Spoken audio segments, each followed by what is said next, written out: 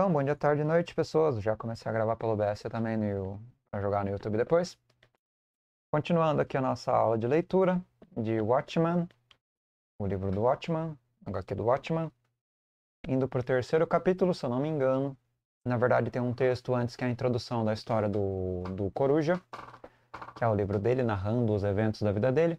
A gente vai ler isso, depois a gente vai para o capítulo em si, que é o terceiro ou quarto. Eu não tenho certeza se é o terceiro ou quarto. Mas deixa eu tomar um fôlego aqui primeiro, que eu tô meio na correria. A gente respira um pouco, aí já vai para a leitura. Beleza. Deixa eu abrir aqui. Então, vamos ver onde eu tinha parado. Eu lembro que na aula passada eu fiz a aula de novo, né? A leitura. Eu reli a mesma coisa que eu tinha lido numa aula que eu perdi a gravação. Então, agora eu avanço de verdade, né? Essa aula aqui, ela é original, primeira vez que eu dou ela. A aula passada tinha sido uma segunda versão. Então, continuando a leitura aqui. A gente vai ler Sob o Capuz, terceira parte, aparentemente. Apresentamos aqui trechos de Sob o Capuz. Nesses capítulos, Hollis Mason, o Coruja, discute a formação dos Homens Minuto, republicado com permissão do autor. O autor permitiu a republicação. É bastante coisa, tá? É, é uma parte, uma terceira parte e uma quarta parte, dando um total de quatro páginas, frente e verso. E depois. Mouse aí, tô meio ruim de garganta. E depois o capítulo 3. Tá? Só pegar água aqui, a garganta está zoada. Sei que ela não fosse ficar do lado agora, mas acabou zoando um pouco. Abra a mochila aqui, minha água tá aqui. Zíper, zíper? Não, outro bolso. Nossa, deixei a mochila aberta, cara. Tirei o celular daqui? Tá aqui o celular, perdi o celular, só que faltava. Nossa. Vamos beber água que tá osso. Né?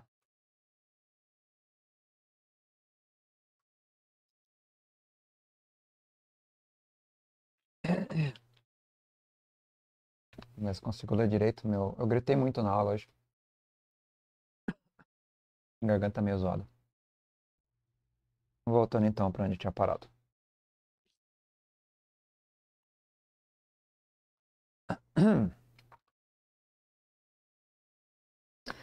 Desde o instante em que resolvi, no meu íntimo, que tentaria sorte como aventureiro mascarado, até o momento em que saí à noite com máscara no rosto e o vento fustigando minhas pernas descobertas, passaram-se cerca de três meses. Ele andava de pernas descobertas.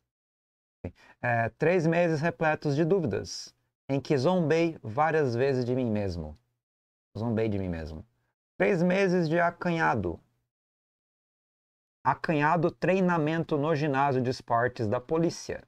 Três meses me perguntando como eu faria uma fantasia. Então ele ainda não tinha o uniformezinho, né, de, de de. Como é que é a palavra? De justiceiro, né? O traje difícil. O traje foi difícil porque eu não poderia começar a desenhá-lo até que tivesse pensado em um nome. Isso me tornou.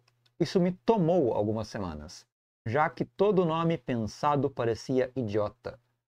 E o que eu realmente queria era alguma coisa com o mesmo tom dramático e empolgante de Justiça Encapuzada, que é o primeiro justiceiro. É o cara que usa um capuz e uma forca, né, um gravata de, de corda e uma roupa com uma capa e uma roupa para um saco de lixo.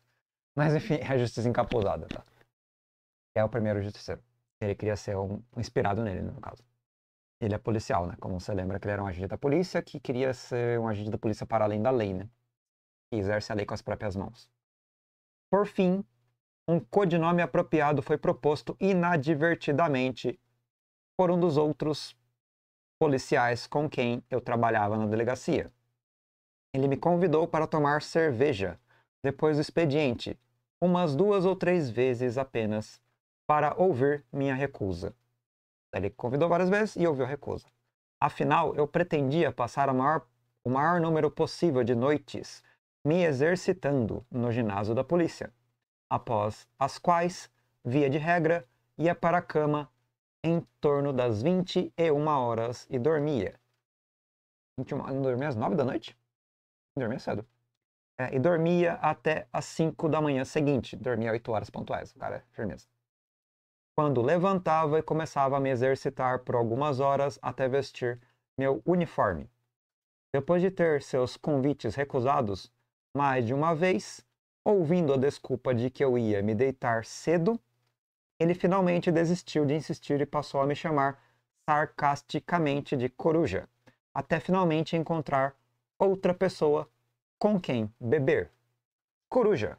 Gostei, eu gostei. Agora eu só precisava fazer a fantasia. Ele adotou o nome, né? O apelido. Tá que ele dorme às nove, então ele é de fato uma coruja. Sarcasticamente falando, corujas não dormem, né? Mas é, elas são noturnas. Mas no caso ele dormia cedo, então é sarcasmo mesmo. O traje de um aventureiro mascarado é uma daquelas coisas em que ninguém realmente para para pensar. Para para pensar. Ah, para para. Duas para junto, é estranho, né? Realmente para para pensar. Deve ter capa ou não? Deve ser, deve ser espesso e blindado para proteger de ferimentos. Quem usa, quem usa o traje, ou flexível e leve para permitir boa movimentação. Que tipo de máscara deve ter? Cores brilhantes nos tornam alvos mais evidentes do que as cores mais escuras. Tudo isso eram questões que eu precisei, de, precisei considerar. Por fim, optei por um design e deixava meus braços e pernas livres, protegendo meu corpo e cabeça com uma espessa túnica de couro. Shorts de cota de malha leve e uma camada de couro sobre a cota de malha, para prote proteção para a cabeça. De malha como proteção para a cabeça. Então, uma malha leve e uma camada de couro sobre cota de malha como proteção para a cabeça. Experimentei usar um manto, lembrando como sombra usava o seu para desviar balas de inimigos, levantando-os, levando-os, levando-os a disparar sobre partes de massa negra, semelhante a um redemoinho, onde seu corpo engenhosamente não se encontrava. Na prática, todavia, descobri que era difícil de manejar. Eu ficava o tempo todo tropeçando nele ou esbarrando nas coisas. Assim, o manto foi descartado em prol do traje mais aerodinâmico que pude elaborar. Com o elmo de couro e a cota de malha ocultando o meu cabelo, achei que só precisava mesmo de uma pequena máscara simples para esconder minha identidade. Mas até isso revelou problemas nada óbvios a princípio. Minha primeira máscara pendia-se ao rosto, pelo simples recurso de um elástico, o que quase me matou durante minha primeira ronda uniformizado. Pendia-se ao meu ao rosto pelo simples recurso de um elástico. Quase me matou na primeira ronda como uniformizado, quando um bêbado armado de faca meteu os dedos nos orifícios da máscara e a abaixou de modo que eu não podia enxergar com um dos olhos. Se eu tivesse, se eu estivesse menos preparado e alerta, ou ele menos bêbado, minha carreira poderia muito bem ter terminado ali. Seja como for, consegui arrancar a máscara completamente e depois desarmá-lo, esperando que o álcool nublasse qualquer recordação mais clara da minha face. Depois disso, forjei, depois disso, joguei fora o elástico e prendi a máscara ao rosto com cola teatral. Cola teatral, do tipo que os atores usam para fixar barbas ou bigodes falsos. Eu me tornei o coruja nos primeiros meses de 1939 e, embora meus feitos iniciais não fossem nem de longe espetaculares, despertaram muito interesse na imprensa, simplesmente porque, em 1939, vestir uma fantasia e proteger o próprio bairro havia se tornado uma espécie de moda, com toda a América interessada, pelo menos brevemente, no seu desenrolar. Um mês depois, na, um mês depois de minha estreia, uma jovem chamada Silhouette, Silhouette, eu não sei pronunciar isso, deve ser francês, Silhouette, foi parar nas manchetes ao desmascarar as atividades de um editor, um editor corrupto, que ganhava dinheiro com pornografia infantil, aplicando uma surra exemplar no empresário e seus dois principais câmeras. Faz câmeras. Depois disso, pouco depois, começaram a ser veiculados os primeiros relatos de Connecticut sobre um homem vestido como traça, capaz de planar, e de um jovem particularmente brutal e feroz, trajando roupa amarela berrante e varrendo o crime nos portos da cidade sob o nome de comediante. Nos 12, nos 12 meses que se seguiram à dramática chegada da justiça encapuzada ao imaginário popular, ou seja, os vários encapuzados em vários locais diferentes, nos 12 meses que se seguiram à justiça encapuzada no imaginário popular, surgiram pelo menos sete outros justiceiros fantasiados operando na costa oeste da América. Só na costa oeste, né? São Francisco, no caso. Não na costa da, da, de Filadélfia, costa leste. Ou é o contrário? Não, oeste é, essa, é São Francisco mesmo. Havia o capitão Metrópole, que trouxe o know-how da técnica e estratégia militar às suas tentativas de erradicar o crime organizado nas áreas urbanas. Ele ainda está ativo nos dias de hoje. É o capitão Metrópole, de acordo com o relato do Coruja. Havia a espectral, agora aposentada e vivendo com a filha, depois de um casamento desfeito, que agora revendo, provavelmente foi a primeira de nós a perceber que poderia haver benefícios comerciais em ser aventureiro, mascarado. Então, a Espectral, que foi a primeira que bom, tem um casamento desfeito e tal, mas ela foi a primeira a fazer marketing, né, a fazer benefícios comerciais em ser um aventureiro mascarado. Espectral usou sua reputação como combatente do crime principalmente para chegar às primeiras páginas dos jornais receber a valiosa cobertura de sua lucrativa carreira como modelo. Ela virou modelo depois. No entanto, todos nós que a conhecemos e amamos, não a condenamos por querer garantir seu ganha-pão. Então, todo mundo que era amigo dela não condena ela de ter virado modelo e usado isso como marketing, né? Acho que éramos todos inseguros demais quanto ao nosso modo, aos nossos modos, nossos motivos.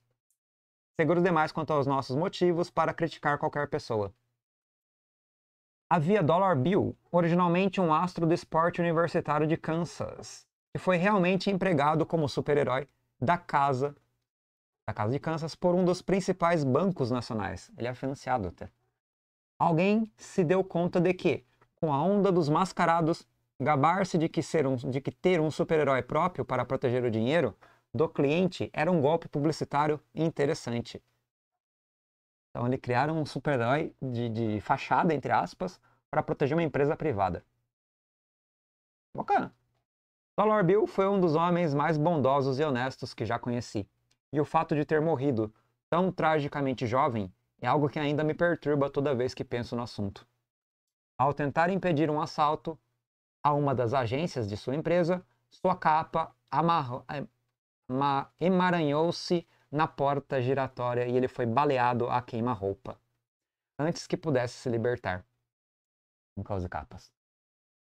Os estilistas contratados pelo banco projetaram seu uniforme com a intenção de maximizar o apelo publicitário.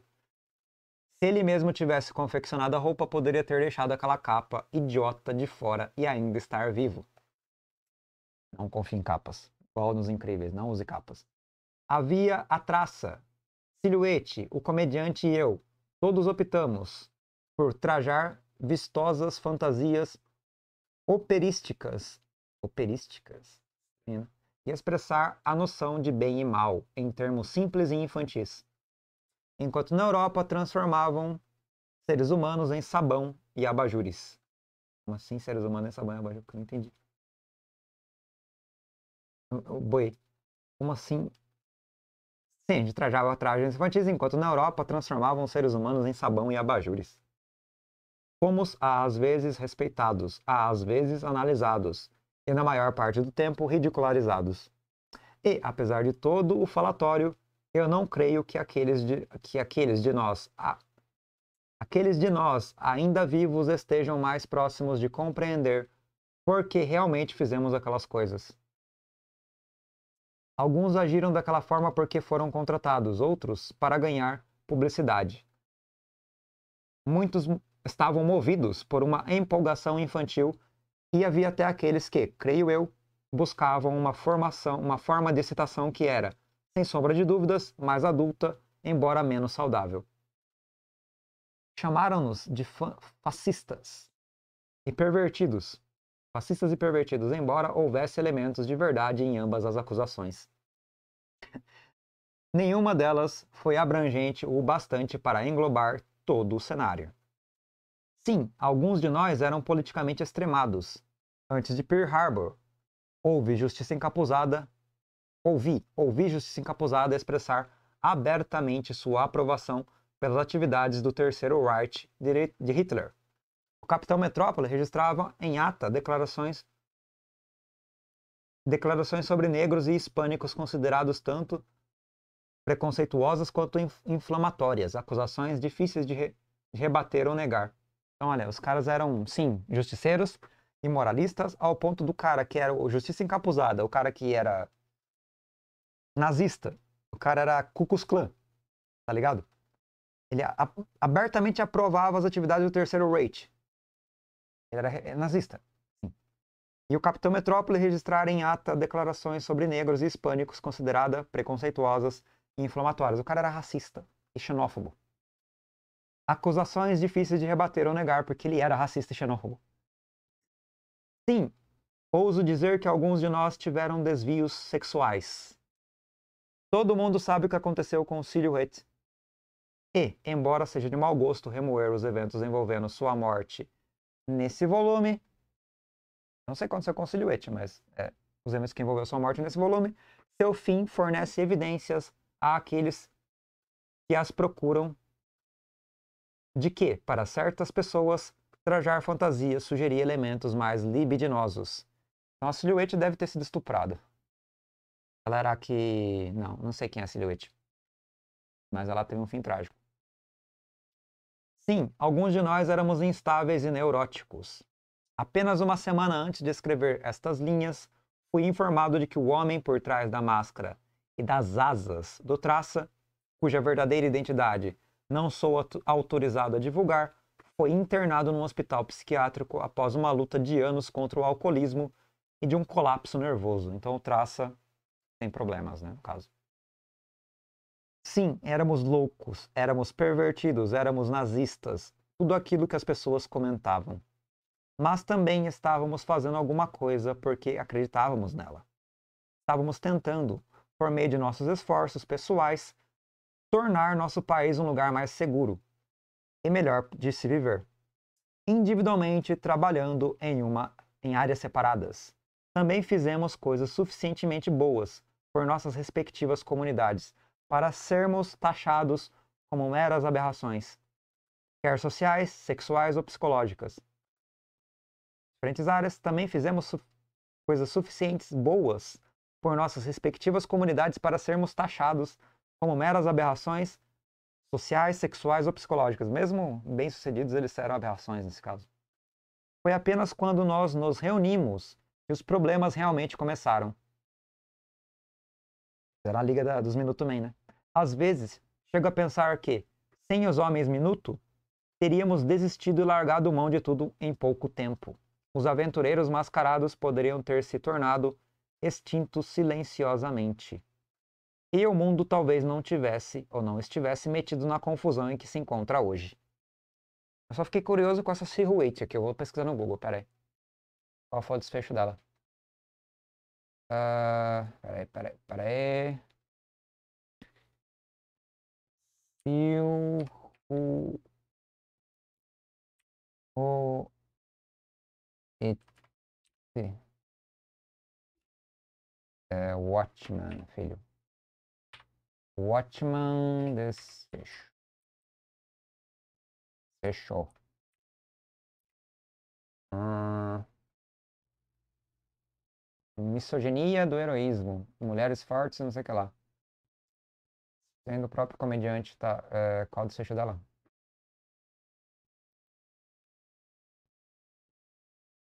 Então, vamos ver. O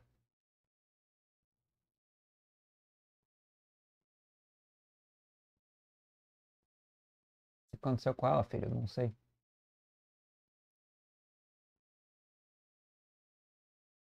Tá, tá, tá. Será que tem algum desfecho dela? Primeira geração. Ok. Não.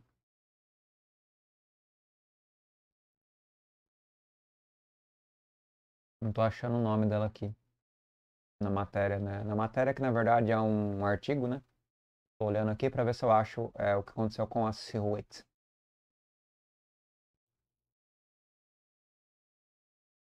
Eu vou colocar morte, né? Pra ver. Porque morte é mais pesado que desfecho, né? Morte.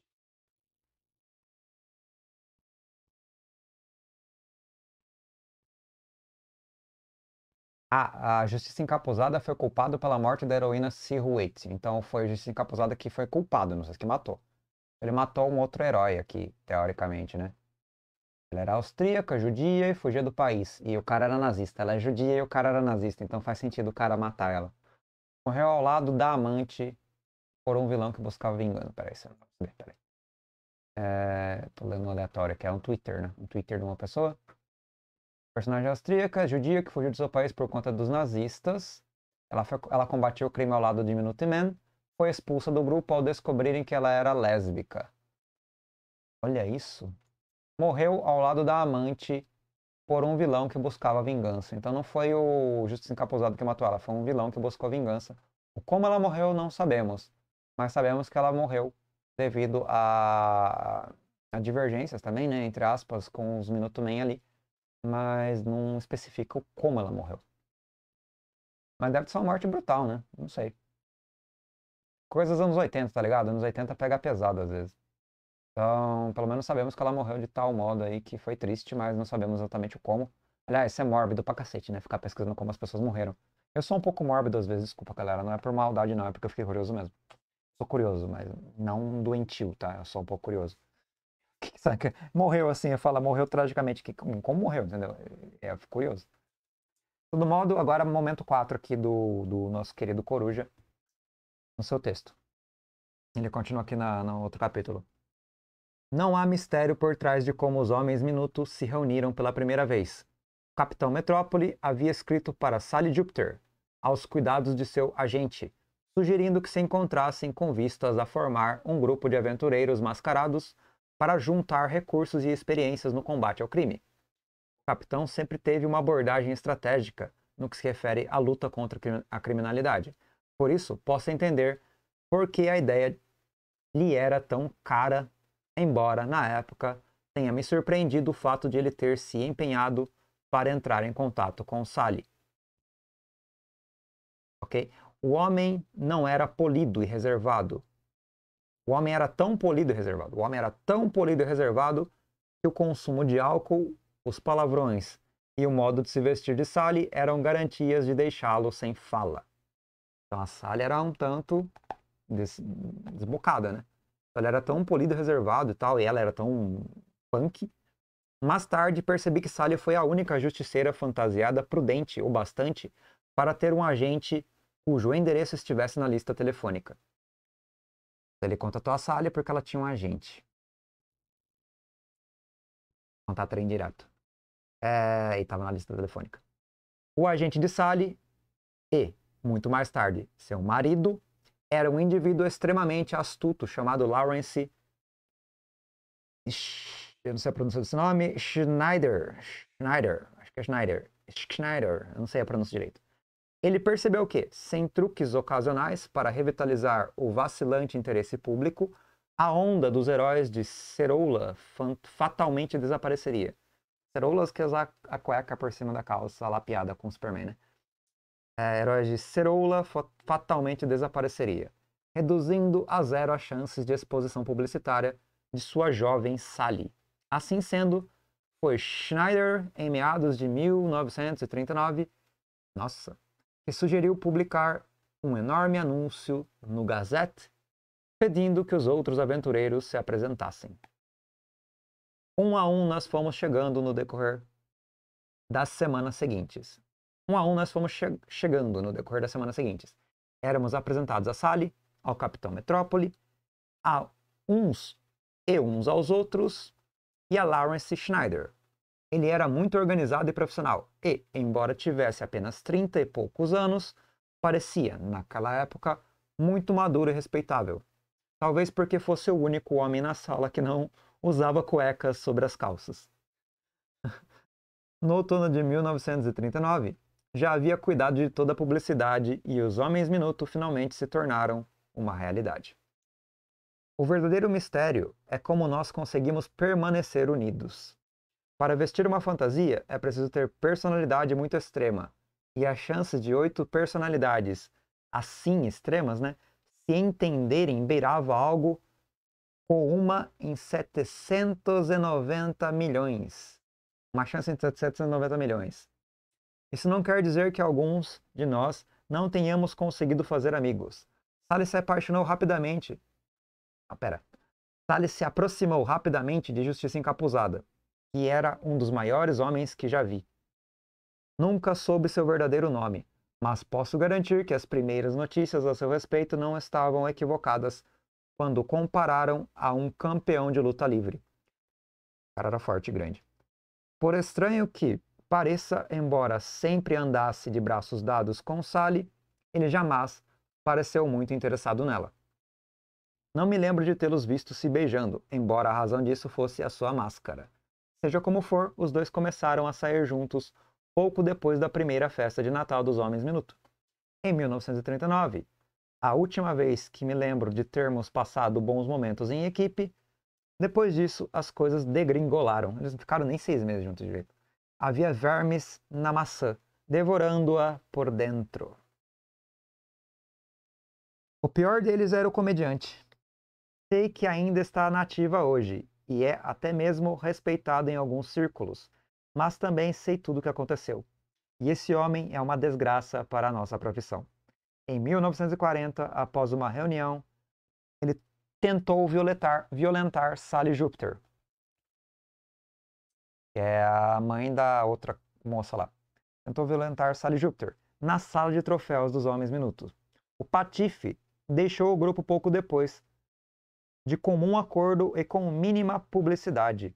Schneider havia persuadido Sally a não dar queixa do comediante, pensando no bem da equipe, e ela concordou. Então, até aqui a primeira festa de Natal dos Homens Minuto, em 1939, da esquerda para a direita. Silhouette, Spectral, Comediante, Justiça Encapuzada, Capitão Metrópole, no espelho, no caso, Coruja, Traça e Dollar Bills. Capitão Metrópole. Quem que é o Capitão Metrópole? Hum... Um, dois, três, quatro, cinco, seis, sete. Tem sete na imagem, tem um, dois, três, quatro, cinco, seis, sete, oito. Eu não entendi onde que tá o outro herói aqui que eu não tô vendo. É alguém que tá no espelho, mas quem que tá no espelho? Todo modo, não tá faltando herói aqui. Eu não entendi a imagem que dá. Tem uma, um quadrozinho, uma fotografia com o nome dos heróis e, e a foto deles na festa, né? E eu não tô entendendo direito aqui. Mas de todo modo, até pelo menos o, o Justiça Encapuzada deu pra entender. Capitão Metrópole, eu acho que é esse cara aqui. No espelho, no caso, não sei quem que ele tá falando. O Coruja é o cara do fundo, eu acho. Traça e o Dollar Bills. Quem que é o Dollar Bills e o Traça? O Traça eu não tô vendo aqui, não. De todo modo, whatever. É, então, o comediante escapou ileso. Embora, um ano depois, tenha se ferido gravemente num acidente não relacionado envolvendo facas. Foi isso que o levou a trocar seu uniforme amarelo de tecido fino pela armadura de couro que usa atualmente tornou-se famoso como herói de guerra no Pacífico, mas tudo em que consigo pensar são os hematomas nas costelas de Sally Júpiter. Rogo a Deus para que a América encontre heróis melhores do que ele. Então, o primeiro coruja aqui tem um grande viés com o comediante, que é um estuprador, ou pseudo-estuprador, que não chegou a estuprar, mas é um cara bem tranqueira mesmo. Né? E é veterano da Primeira Guerra, né? Ele lutou no, contra o Japão. Depois disso, as coisas se deterioraram. Em 1946, os jornais revelaram que Silhouette estava vivendo com outra mulher numa relação lésbica. Ah. Schneider nos persuadiu a expulsá-la do grupo. E, seis semanas depois, um de seus antigos inimigos a assassinou junto com a sua amante. Cara, eu fui pesquisar um negócio que tava na droga do HQ, velho. Ô, bicho, apressado. Então tá aqui a explicação que eu acabei de ler. Ela era lésbica e foi expulsa por preconceito, obviamente. E depois ela foi assassinada por um dos inimigos dela. Dollar Bills foi morto e, em 1947, 1947 o grupo sofreu seu golpe mais sério. Sally abandonou o combate ao crime para se casar com seu agente. Então, durou uns 6, 8 anos, né? Uns 8 anos esse grupo. É, Dollar Bills foi morto, como eu tinha contado, né? O Dollar Bills preso na, na, na, na agência, né? Na, na porta giratória. E depois a Sally caiu fora. Nós, nós achávamos que ela poderia voltar, mas em 1900, 1949, Sally teve uma filha isso encerrou a discussão. Por fim, aqueles entre nós que restavam, restaram, já nem mesmo combatiam o crime. Não era interessante. Os vilões que havíamos enfrentado estavam na prisão ou tinham assumido atividades menos glamurosas. Moloch, por exemplo, que iniciou a vida profissional aos 17 anos como mágico, tornou-se depois um vistoso gênio do crime por meio dos contratos com o submundo, feitos nas casas noturnas. Partiu para violações mais impessoais como drogas, fraudes financeiras e práticas imorais. E aí tem uma foto aqui do comediante no Pacífico também, na, em 1942, quando ele estava lutando na guerra contra os japoneses. E com a sua arma metralhadora na mão, pousando de herói. E aqui tem um dos pôsteres publicitários do Moloch também, como mago místico. Ele era tipo um mago mesmo, em 1937. Já antes de começar a carreira de crime, praticamente. E aí ele fala: com o passar do tempo, só restavam, restávamos eu, Traça, Justiça Encapuzada e o Capitão Metrópole. Nossos encontros eram em uma sala de reuniões que mais cheirava a vestiário masculino, agora que não havia mulheres no grupo. Não havia sobrado mais ninguém interessante contra quem lutar e nada notável sobre o que conversar. Em 1949, uma década de, de atividade, decidimos encerrar tudo.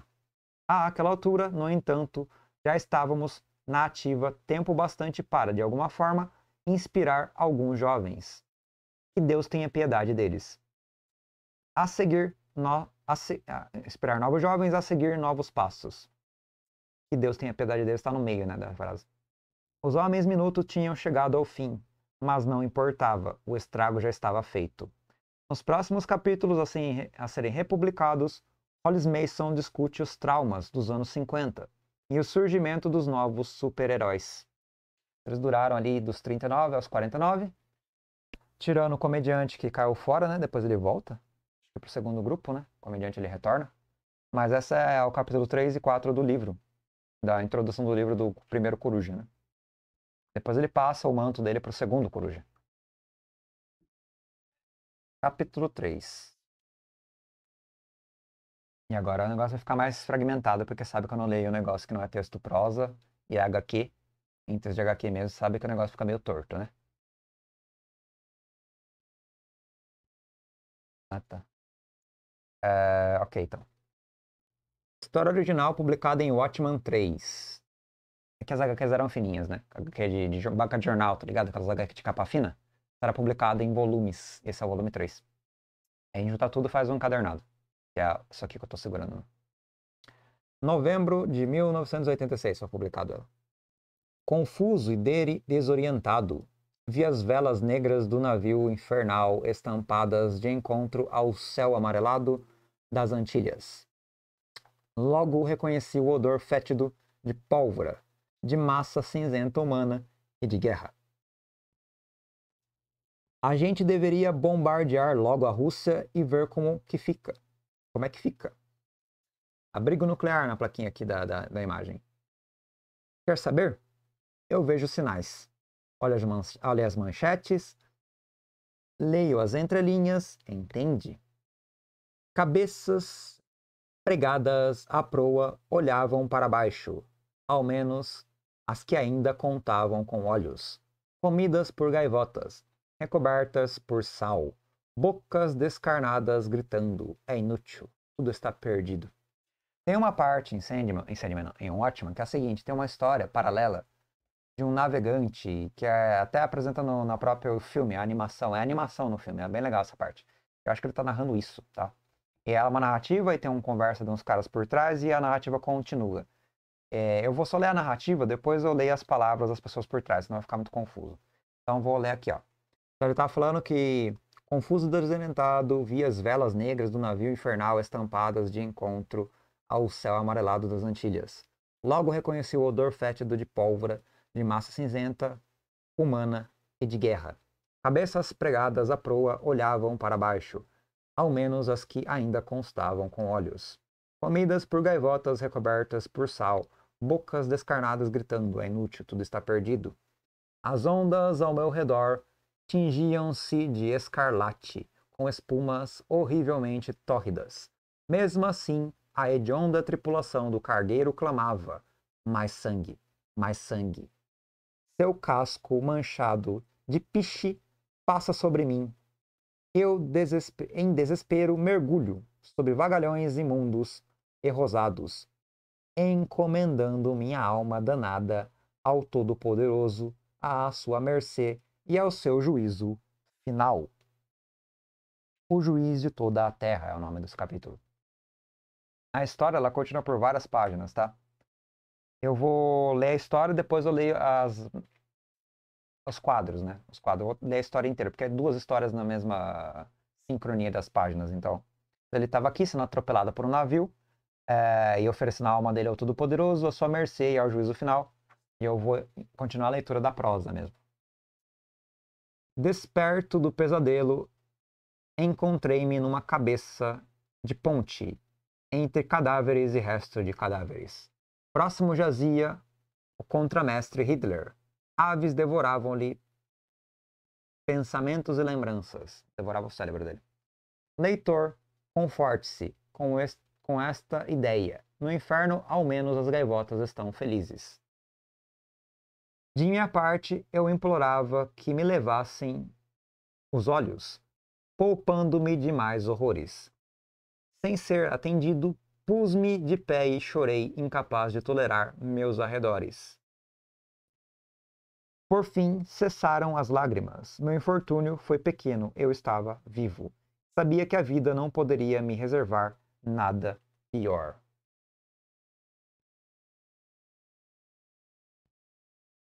Súbito, fui tomado pela recordação de estar agarrado fortemente a alguém durante a tempestade. Aos meus pés, vendada por algas marinhas, jazia a figura da proa, de proa. Aquelas carrancas de navio, né? Na polvorosa praia, ela era a única a sorrir. Fiz menção de afastar a tira vegetal de seus olhos pintados, mas pensei melhor, poupando-a de contemplar as terríveis imagens da soturna maré. Nada mais pude lhe fazer, embora ela tenha me guiado por mares sanguinolentos, sanguíneos, e seus seios de madeira tenham me nutrido no âmago da tempestade. Seu abraço úmido me impediu de vagar para o longe, e, no entanto, tudo que pude lhe oferecer foi este pequeno consolo. Então ele estava ali com a. com a carranca, né? Pode dizer assim. Eu não pude amá-la tanto quanto ela me amou, fala o nosso é, navegante. É, ele está lendo uma HQ aqui, né? HQ da história do náufrago e tal, né? É uma história interna. Mas agora voltando tudo, é, as páginas lendo a história é, das pessoas que estão lendo essa história, mas estão conversando. A gente devia bombardear logo a Rússia e ver como, ela, como é que fica. Quer saber? Eu vejo os sinais, olho as manchetes, leio as entrelinhas, entende? Eu sou jornaleiro, porra. Estou informado de tudo. A gente devia, bom... devia bombardear até o fim. Claro que é só a minha opinião. Esse jornalista aqui, ele tá conversando com um menino, né? Enquanto ele tá ali cuidando da banca de jornal dele. E nessa banca ali tem um moço lendo a jornada do, do náufrago, né? E daí, ao fundo, tem abrigo nuclear, uns inspetores estranhos, assim, umas pessoas mexendo com umas coisas aleatórias. Tem um escritor desaparecido num cartaz aqui. E tem um menino lendo a história, que é a história do náufrago, né? Que é tipo um jovem negro periférico. Aí mostra o jornaleiro falando também. Não que ser jornaleiro seja grande coisa, em última análise, né? Porque ele falou que ele é jornaleiro sabe das coisas.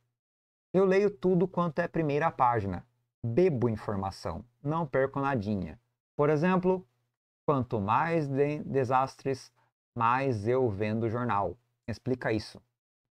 Então, quanto mais desastre, mais eu vendo jornal. Explica isso, fala ele, exclamando, né? Tá tudo relacionado. Jornaleiro sabe disso. Realidade é com ele mesmo.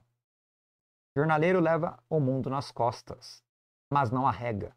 É que nem Atlas, aguenta a barra. Atlas deve ser uma enciclopédia, né? é um sobrevivente. Esta tarde, por exemplo, a Nova Express está segurando a primeira página. A, o jornal só chega à noite, uma catástrofe, mas eu seguro. Essa tarde, por exemplo, a, Nova, a Nova, a Nova Express está segurando a primeira página. O jornal só chega à noite, mas uma catástrofe, mas eu seguro. Eu não entendi essa frase. Ele deve estar tá falando que ele está segurando as pontas enquanto o jornal não é impresso. Jornaleiro sempre segura a onda. A gente é indestrutível. Triunfamos na desgraça. E. Boa tarde, amigo, fala ele, recebendo um outro cara que tá chegando aqui. Boa tarde. Já chegou? Pergunta o cara. E o cara tá carregando uma placa chamada O Fim Está Próximo. Esse cara que tá, esse cara que tá carregando uma placa O Fim Está Próximo é o Rochart, na verdade, mas ele tá sem fantasia. É... E ele fala assim, olha, ele cortou a prosa dele de ser um jornaleiro, o grande mestre das informações e o cara que sabe das coisas e que está segurando as pontas ali por causa das informações não terem chegado ainda e tal, né? Ele fala, hum, o seu exemplar de New Frontiers, man, New Frontiers, man, tá bem aqui. Eu guardo todo dia, né? Fala ele. E quantas, a quantas anda o fim do mundo? Pergunta ele. Pro cara que segura a placa. Que é o Rochard. Vai ser hoje, eu vi os sinais, o Natural Examiner noticiou o nascimento de um gato com duas cabeças em Queens. De hoje não passa. Não esquece de guardar meu jornal. Meu jornal amanhã, falei ele. Ah, claro, pode deixar. Tenha um bom dia. Não faz sentido, né? Se o mundo vai acabar hoje, porque ele vai guardar o jornal para amanhã. De todo modo, tem uma fala atrás aqui na Instituto, Instituto de Estudos Extraespaciais. É um, um galpão que está aqui na rua que está no cenário, né? Institutos de Estudos Extraespaciais. Aí o jornaleiro bebendo ali o seu café. Não vai esquecer, falou cara. É, dando uma ênfase ali no jornaleiro, né? Um tranco. Não vai esquecer de guardar meu jornal, meu jornal. Embora ele está dizendo que o fim está próximo e que de hoje não passa, né?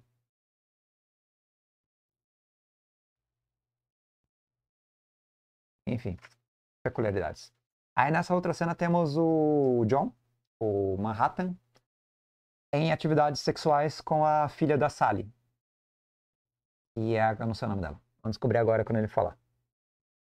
E ela tá, hum, John, a que horas você vai dar a entrevista na TV esta noite? É logo? Não. Nós temos bastante tempo, falou John. Com dois corpos clonados, porque ele pode clonar o corpo dele. Ótimo. Hum, seu dedo é como lamber uma pilha de lanterna. É meio. Hum. Aí ele cutucando o rosto dela com várias mãos. Ela, ah, por que tem dois de vocês aqui? Ela meio que se assusta, né? Oh, meu Deus, que horrível. Pare com isso. Volte a ser um só. Volte a ser um só, né? Vire um homem só. É que ele, ele clonou a si mesmo. Larry, não se alarme. Larry é o nome dela. Não se alarme. Achei que você apreciaria. Só quero lhe dar prazer. Eu sei, desculpa, me descontrolei. Você me assustou, só isso. Olha, vou comprar cigarro, está tudo bem. Ela veste o sobretudo dela. Sai fora. Sinto muito, fala ele, o John. Não sei mais como estimulá-la. Tudo bem, deixa pra lá, eu estou legal. não é, não é nada. Você está certa disso? Enquanto ele estava é, clonado com dois dele na, no, no quarto na cama, tem um dele na cozinha. Ele se clona várias vezes. É que nem um Bunshi no Jutsu do Naruto, filha da mãe. Vou me aprontar para a entrevista, Larry, fala um dos, dos Johns. Larry, você está bem? Falou outro John. Estou bem. Eu estou bem. John, há quanto tempo você está trabalhando aqui? Trabalhando no laboratório, né? Larry, tente entender. Ele trabalha enquanto satisfaz ela sexualmente. Ele não é uma pessoa muito focada, né? Ele tem múltiplos corpos, múltiplas consciências. Entendo nada. Você ficou trabalhando enquanto estávamos na cama, fala ela. Larry, meu projeto está numa fase decisiva. Pareceu-me desnecessário.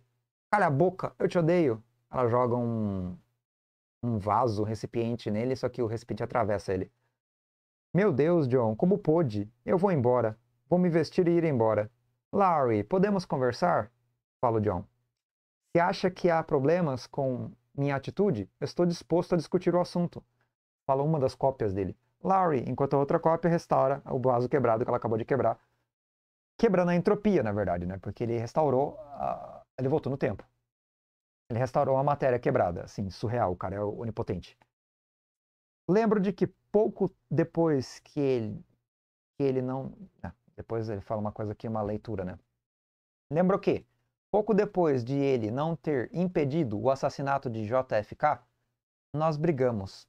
Eu disse, John, você sabe como tudo no mundo se encaixa, menos as pessoas. Então ele decidiu, por algum motivo, permitir o assassinato de JFK, é um presidente americano que morreu de fato assassinado. É verídico isso. Você cuida de tudo no mundo, menos das pessoas. Entendeu? É uma crítica válida para o Manhattan. O Manhattan é bem alienado. Bem alienado. E aí. Já tem dois minutos de vídeo só, né? Dois minutos de gravação. Ele já não se relaciona comigo, nem emocionalmente, nem sexualmente, reclama a, a, a Larry. Três anos depois, me trocou por uma ninfeta de 16 anos que andava pelas ruas de calcinha. Acho que é a ex dele, a ex antes da Sally. Ele já não se relacionava comigo, nem emocionalmente nem sexualmente. Três anos depois, me trocou por uma ninfeta de 16 anos que andava pelas ruas de calcinha. Um dia ele vai ver, vai ver qual é a sensação. Entendo. Então a senhorita Slater como se sente agora que soube de seu estado de saúde. Entendo. Então, senhorita Slater, como se sente agora que soube de seu estado de saúde? Não sei do que, que narrativa é essa, tá entrecortada aqui. Amarga, amarga como, como fel. Comecei a formar três maços por dia. Pensei, por que não? não tenho mais ilusões. Aí continua, afinal, a pergunta na narrativa que está questionando ela. É tipo uma entrevista, né? É verdade, está sendo uma entrevista aqui. Está tendo uma moça sendo entrevistada por um repórter e o repórter está questionando ela. Só para organizar aqui, então. Eu vou continuar isso nessa, nessa mesma página na semana que vem, mas só para me organizar aqui, ó. Então a pergunta é, é... O repórter fala, lembro que pouco depois de ele não se ele não ter impedido o assassinato de JFK, nós brigamos. E eu disse, John, você sabe como tudo no mundo se encaixa, menos as pessoas. Então ela respondendo a pergunta.